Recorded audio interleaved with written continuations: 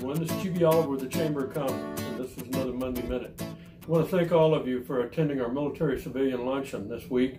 Uh, unfortunately, that venue only held 122 people. A lot of you were turned away.